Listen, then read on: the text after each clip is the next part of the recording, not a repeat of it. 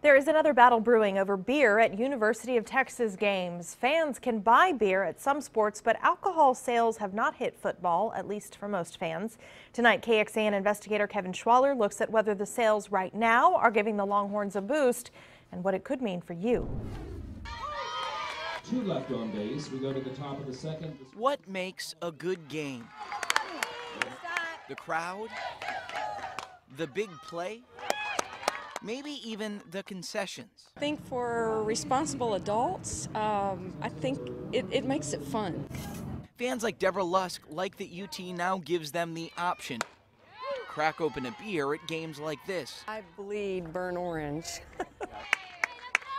the key is that our fans should feel like they're uh, having a good experience for the way they invest their time and their emotion and their money. Fans are investing their money in beer.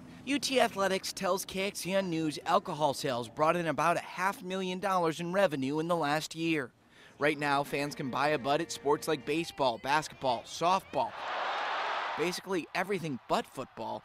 That could change. When you look at football, historically we've been serving about 35,000 people uh, a game anyway between the club spaces and the, and the suites. And so, you know, the only thing to examine, and we'll go through the process uh, uh, with the campus and with the system, is to uh, look at the remaining folks in the building. I would really like to see it. I would certainly support it. Um, I think most fans would like to see it. Fans won't have to wait for kickoff in the fall. We should know more about what'll happen this spring. Kevin Schwaller, KXAN News. The athletic director says although the alcohol sales have brought in some money, it is not going to change how the department runs. He also says the school has not had any incidents with alcohol sales so far.